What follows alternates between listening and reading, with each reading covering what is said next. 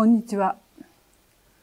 漱石は明治29年、西暦では1896年4月13日、第五高等学校で英語を教えるために熊本にやってきます。漱石を第五高等学校、通称五校に斡旋したのは、漱石の先輩で生涯の友であった菅虎夫でした。漱石は熊本に来る前の年、明治28年、菅の紹介で松山の愛媛県尋常中学校に就職したのですが、1年で嫌になり、菅に別の就職先を頼んだのです。ちょうど五校の教授だった菅から五校に空きがあることが知らされ、熊本に来ることになりました。漱石はそれから4年3ヶ月、明治33年、1900年7月15日に英国に留学するために熊本を離れるまで熊本で生活しました。漱石が生まれ故郷の東京を離れて暮らしたのは松山と熊本、英国のロンドンですが、松山が1年、ロンドンでは2年ですから、熊本での生活が最も長いものとなりました。漱石が熊本で住んだ家は、これまで6軒と言われて、熊本市が漱石旧居として第3、第5旧居として保存している家があります。しかし、これは厳密に言うと7件で、現在保存されている旧居は第4、第6旧居ということになります。さらに、第7旧居、漱石が最後に住んだ家ですが、熊本には3軒の家が現存しています。そのうち1軒は移築されていますが、後の2軒は漱石が住んでいた当時のままの場所にあります。これは大変貴重な文化遺産と言えます。漱石が住んだ家で現在保存されているのは熊本以外では東京の仙台の家だけです。これは漱石が住む前に森鴎外が住んだ家としても知られています。しかしこれは現在愛知県犬山市の博物館明治村に移築されています。漱石の成果もその生涯を終えた南早稲田の家も現存していないのです。松山時代の家も水害で流出しました。熊本に3軒の家が残っているのは貴重なことです。熊本で7回も引っ越しをしていることから、引っ越し間とまるで漱石が気難しくて、近所との折り合いが悪く、引っ越しを繰り返したというようなイメージで言われることもあります。しかし、引っ越しをするにはそれなりの理由があるのです。しかもこれは、当時の五校の他の教師の住所を調べると、決して特別なことではなかったことがわかります。例えば、同僚の山川慎次郎は明治30年から32年の間に3カ所、笹本次郎は27年から31年の間に5カ所も転居しています。加納幸吉は明治31年に漱石の圧旋によって五校の教頭になった人ですが、10ヶ月の赴任期間に2カ所転居しています。加納の伝記を書いた青江俊次郎は、加納が夏休みになると借家を引き払って宿屋に移り、帰郷の後にも再び新たな借家に移っていたことを書いていますが、明治時代の人は2ヶ月もの長い休みに家を借りたままにはしておかなかったと考えられます。漱石の住んだ第一の家についてご紹介する前に、もう一つの家についてお話ししなければなりません。それは漱石を熊本に斡旋した菅虎夫の家です。熊本での家を見つける間、漱石は菅の家に3週間ほど滞在しています。菅虎夫の家について初めて場所を特定したのは、熊本における漱石研究の先達である鎌地正則氏でした。鎌地氏は明治29年5月3日付水落路石宛書簡を発見し、5月3日にはまだ漱石が菅の家にいることを明らかにし、その家を薬園町62番地の家としたのです。しかし、これは間違いでした。平成30年、西暦2018年、当時、小慶学園大学学長であった森正俊が、菅虎夫の妹、純の学籍簿を発見し、そこに明治29年4月13日の現住所として、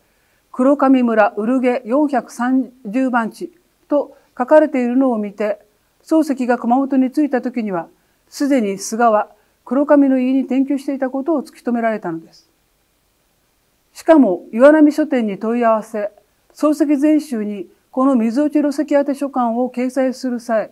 蒲地氏の説によって住所を記載し、封筒は未見であったことを確認されました。しかし大変残念なことに、この発見は新たな定本漱石全集には反映されていません。相変わらず菅虎雄の住所は薬園長のままになっています。改めて明治41年、西暦1908年2月9日、九州日日新聞に掲載された漱石の談話、名家の見たる熊本を読み直すと、阿蘇街道の黒上村の友人の家についてと書いてあります。しかし岩波書店の定本漱石全集第25巻には以前と変わらず黒上村に宙をつけ友人は当時五校教授の菅虎をただし漱石が厄介になった時の菅の住所は熊本市薬園町で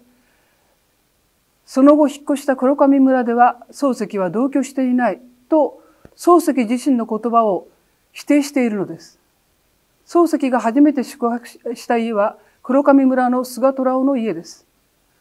菅は明治30年、西暦1897年8月には非職。これは現在の給食にあたりますが、非職となって熊本を離れます。菅の在任中はしばしば訪れて菅の長男をあやしたというエピソードが残っています。これは黒上村の菅虎雄の家に間違いありません。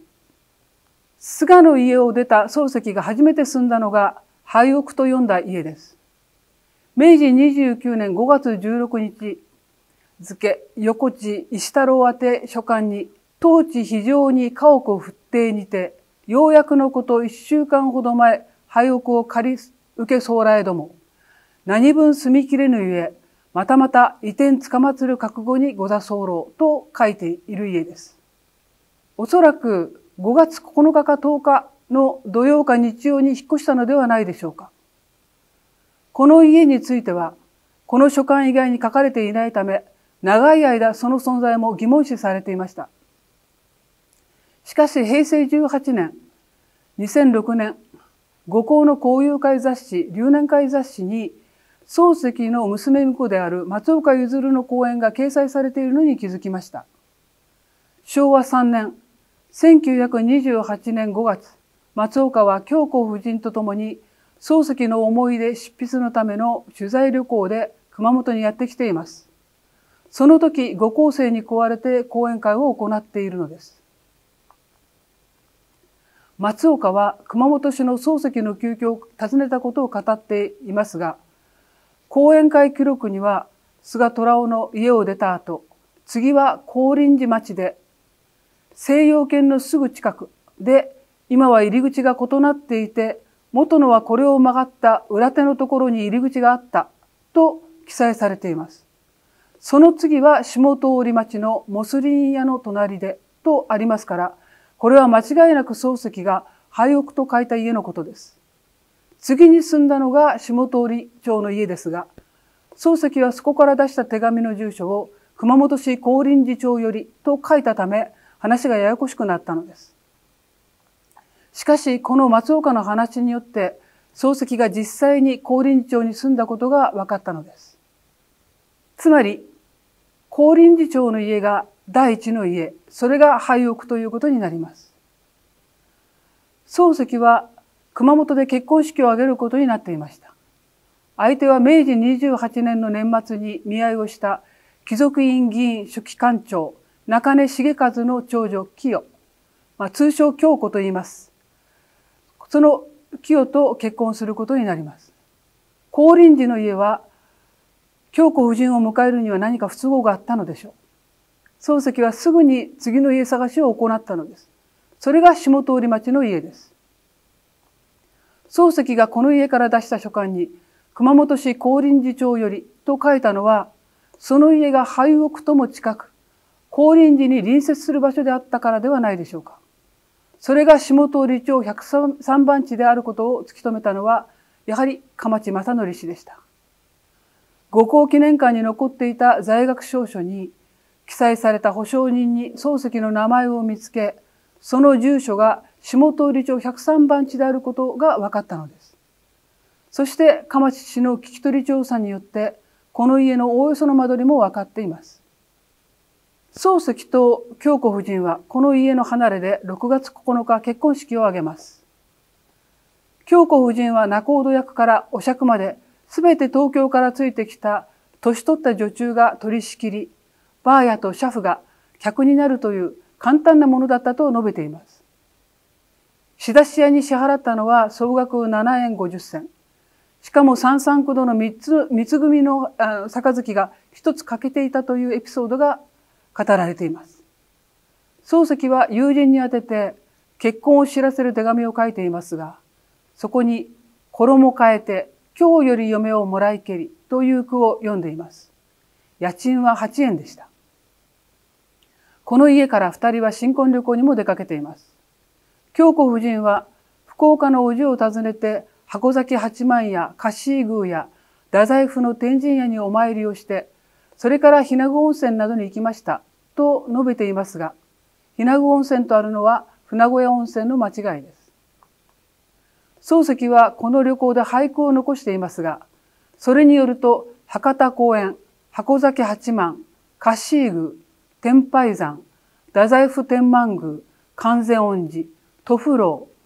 二日市温泉、梅林寺、船小屋温泉の前書きのある俳句があり、漱石たちがどこを訪れたのかを知ることができます。ただこの旅は都会育ちの京子夫人にとってはあまり快適ではなかったようです。以後九州の旅行には誘われても行く気になれなかったと京子夫人は言っています。しかもこの旅の疲れが出たのか、漱石は内君の病を看病してという前書きで、枕部屋、星分かれんとする明日という句を残しています。しかし、この下通りの家は、京子夫人が漱石の思い出で語っているように、この家のすぐ前が墓場である上に、ここで妾が不義をしてお手打ちになったという、なんとなく不気味な家だったので、家が見つかり次第引っ越しということになるのです。それが次のカッパ町の家です。漱石は明治29年の夏休み、京子夫人を連れて新婚旅行に出かけましたが、旅行の後、下通りの家からカッパ町237番地に引っ越します。9月25日付の正岡式宛書簡で、かかるところへ来て13円の家賃を取られんとは夢にも思わざりし、と述べ、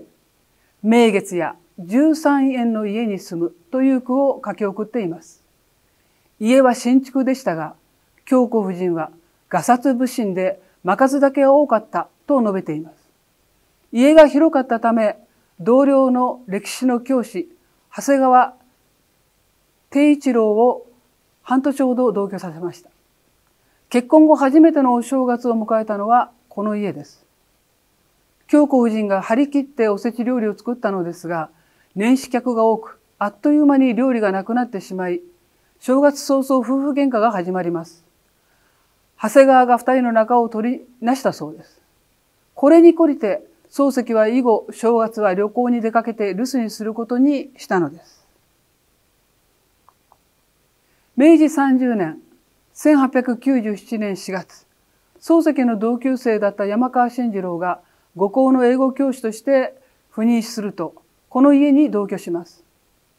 しかし、6月29日、漱石の実の父、直勝が亡くなりました。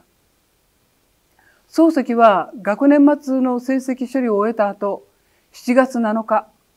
京子夫人を伴って上居することになります。その際、このかっぱ町の家を引き払っています。同居していた山川がそのいきさつを正岡式に書簡で書き送っています。漱石の新家庭を心配している式に、漱石夫婦が、夫婦の様子を伝えたものですが、山川は、金質愛わすとは言えないが、大和ごとにドラくらいのもので、不祥不随、脇みちみちたる一家であると伝えています。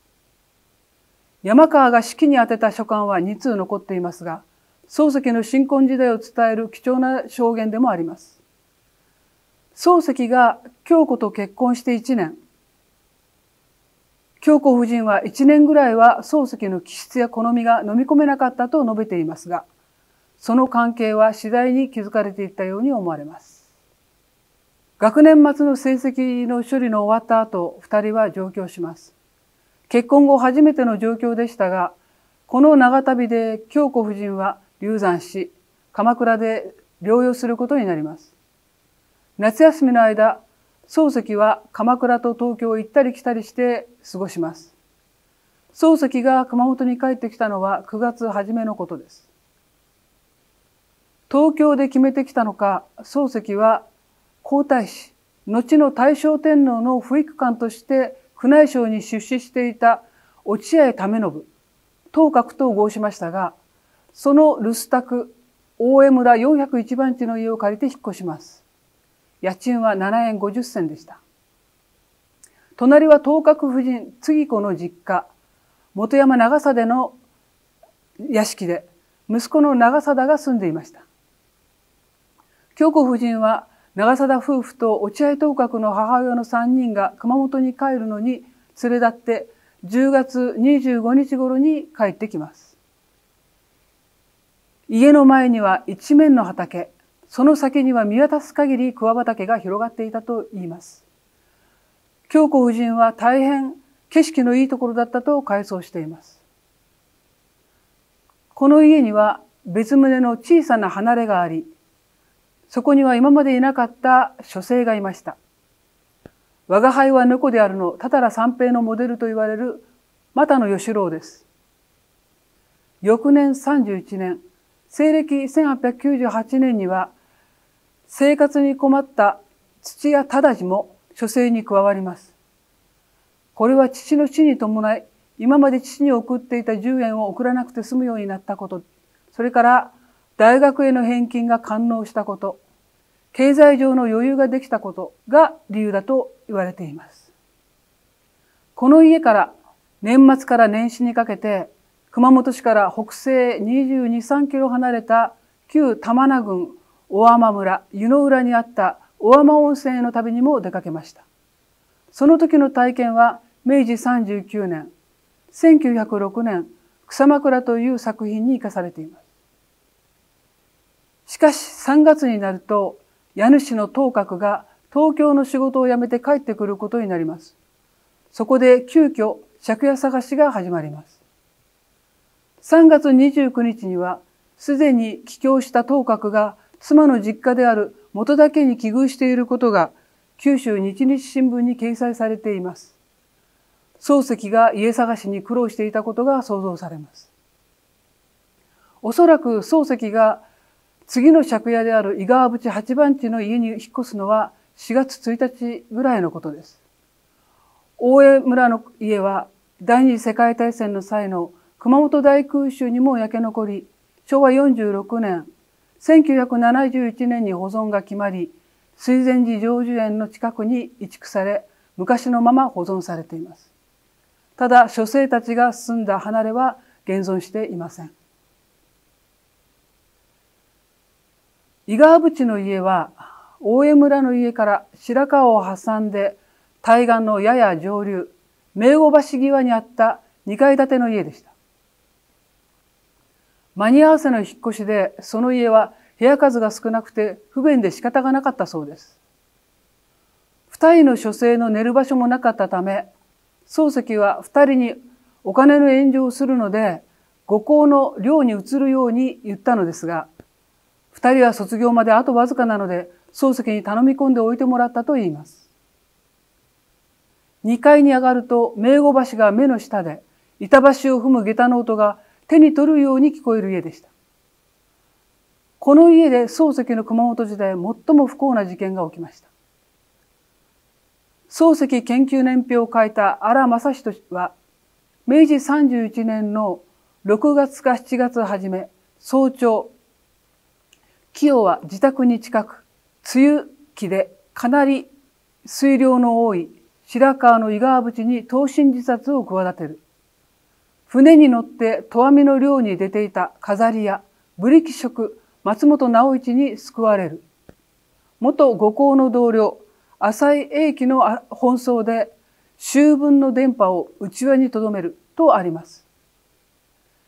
しかし事件は6月や7月の梅雨時ではなく5月に起きたものです。なぜなら、漱石は熊本時代ほとんど欠勤をしていないのに、この5月の出勤簿には7日もの欠勤が記されていたからです。また、当時の教頭であり、漱石の先輩でもあった加納幸喜氏の熊本時代の日記の5月21日に、夏目氏妻病気を見舞うと記述があるのを見つけたとき、この事件が間違いなく5月21日かその前日に起きたことを確信しました。しかもこれまで言われていたような投身自殺ではないこともです。道草に描かれているようなヒステリー状態での事故と考えた方が納得がいきます。漱石の出勤簿には6月も7月も欠勤が記されていないのです。自殺願望を抱えた婦人を家庭において安穏と学校に勤務できたでしょうか寺田虎彦や栗屋川忠蒲生栄らが俳句を学びに井川淵の家を訪れ俳句を始めていますが家庭内に不安を抱えてそのようなことができたでしょうかさらに加納幸吉は日記によると7月22日に内坪の家から研ぎ屋支店に移っています。これは漱石たちを自分が住んでいた家に住まわせるためで、翌日漱石がまだ引っ越ししていないのを知ったことが書かれています。これは加納が漱石たちが井川淵の家を退去した方がいいと考えていたということです。引っ越しすることが京子夫人の事故を防ぐ最善策だったということではないでしょうか。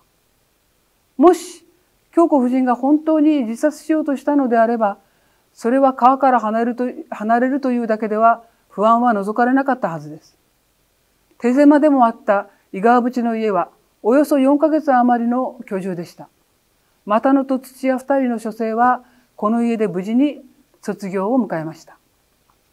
明治31年7月下旬、漱石は加納幸吉が住んでいた内坪井町78番地に引っ越しました。この家は漱石が住んでいた頃と同じところに建っていて、現在夏目漱石内坪井旧居として熊本市が保存公開しています。ただ、平成28年、2016年の熊本地震で大きなダメージを受けました。地震後の調査によっても明らかになりましたが、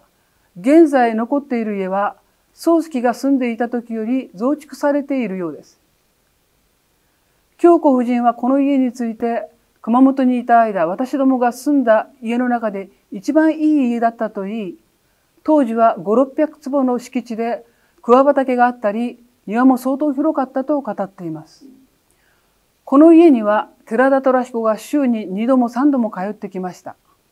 また明治32年1月から湯浅孫三郎が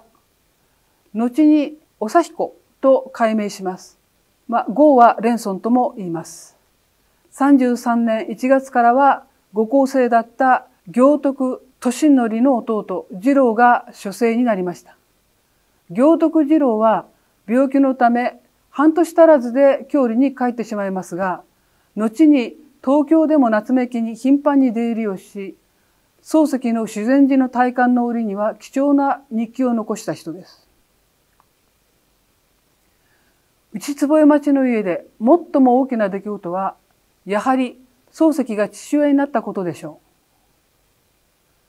京子夫人のヒステリー症を心配して内坪町の家に引っ越したのですが、京子夫人は明治31年の9月から11月まで猛烈なつわりに悩まされ、ひどい時には水も喉を通らないようなこともあったようです。漱石はそんな京子夫人を案じて欠勤するということもありました。明治時代に妻のつわりで欠勤するなど極めて稀なことではなかったでしょうか。明治32年5月31日、長女が誕生します。漱石は、やすやすと生子のごとき子をめりという句を読んでいます。悪質であった京子のようにならないようにという願いを込めて筆と名付けられました。通称筆子と言いますが、漱石は筆子を大変可愛がり、よく抱いたそうです。膝の上に筆子を乗せて、もう17年経つとこれが18になって俺が50になるんだと言っていた漱石が本当に筆子が18の時に50歳で亡くなったと京子夫人が漱石の思い出で語っています。漱石はこの家にいた間、明治32年、西暦99年の元旦には、同僚の奥太一郎と共に大分の耶馬渓へと出かけています。また、32年の夏休みには山川慎次郎と阿蘇登山をしています。後に210日の素材となった旅行です。内坪井の家には1年8ヶ月住んでいます。そこから漱石は最後の引っ越しをします。藤崎八幡宮近くの北千段畑町78番地で磯貝家の頭でした。この家も内坪井町の家と同様、当時のままの場所に立っています。磯貝家に伝わる話では、漱石が五校に通う道すがら2階建ての家ができるのを見て、ぜひ2階を書斎にしたいと、完成を待って借りに来たのだそうです。熊本で漱石が借りた他の家が余儀ない事情で引っ越したのに対して、唯一漱石自身の希望で引っ越したのがこの家です。4月5日付で加納幸吉田に転居通知を出しています。また、春の雨、鍋と釜とを運びけりという句がこの家に引っ越した際の句です。このことから気象庁のデータを調べると4月になってから5日までの間で雨が降ったのは1日だけです。ここから4月1日に引っ越したと推測されます。二人の書生とそれから内坪井の家で飼っていた大きな犬も共に連れて引っ越しでした。犬はドイツ人から譲り受けたという要件でしたが、行徳次郎はこの犬を連れて筆子を乳母車に乗せて近くの藤崎八幡宮に散歩に行ったことを回想しています。漱石は大の犬好きで、この犬は内坪時代から通行人に吠えては苦情を言われていたそうです。ある時は人に噛みついて警察に連れて行かれるというようなこともありました。しかし狂犬病の恐れがないということで翌日には無事に戻って犬好きのお手伝いさんとともども宗月が喜んでいたという犬です。しかし北千段畑町に引っ越したある晩のこと、漱石が歌いの会で夜遅く帰ってくると、この犬が漱石に飛びかかって着物のたもとと袴を食いちぎってしまったのです。漱石は真っ青な顔をしていたそうです。京子夫人にこれこそ飼い犬に手を噛まれた格好だと言われて笑われると苦い笑いをしたと伝えられています。山崎天使氏は熊本の文学散歩という本に隣に住んでいた磯貝氏が夜中にいつ起きてみても2階に明かりが灯っていて漱石の勉学している気配が伺われていたというと書いています。漱石は2階のお気に入りの書斎で夜遅くまで勉強していたようです。このような漱石に明治33年1900年6月12日文部省から英国留学の命令が出ます。漱石は学年末試験や次年度の入学試験など熊本を離れるまで慌ただしく時間を過ごします。そして折から大雨で熊本市中に様々な被害が出ているさなか、奇跡的に列車が開通した7月15日に慌ただしく熊本を離れました。書生の湯浅蓮尊も東京帝国大学に留学するため漱石一家と同道しています。漱石が噛みつかれた犬は同僚に譲りました。最後の住居はわずか3ヶ月でしたが、漱石にとっては濃密な時代時間だったと思われます。漱石は9月に東京を立ち、2年間五校教授として在籍したままロンドンで留学生活を送り、明治36年、1903年1月、東京に帰ってきます。しかしその後再び熊本に帰ることはありませんでしたその後作家となった漱石は草枕二百十日という熊本にまつわる2つの作品を残しました五校教官として過ごした熊本での4年3ヶ月の持つ意味は大きいと思われます。熊本に残る3カ所の旧居や漱石が訪れた様々な場所に立って漱石の熊本時代に思いを馳せてみ馳せてみてください。